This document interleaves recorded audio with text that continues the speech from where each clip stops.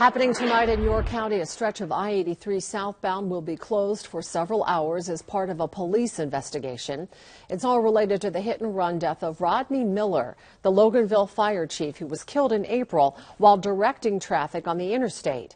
News 8's Julie Gargotta joins us now with what you need to know. Hi, Julie. Hi, Kim. Not a long-term closure, but a really important one, of course, so police can do their work. As you mentioned, this is a southbound closure of 83 south of Loganville exit 10 starting at 9 p.m.